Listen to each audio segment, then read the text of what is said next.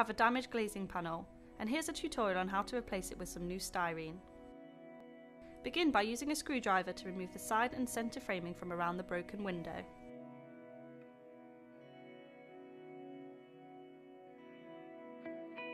Make sure that your styrene replacement is cut to fit and remove the protective plastic from the front and back.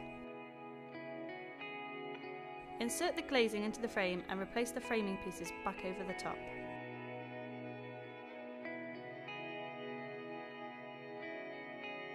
Make sure not to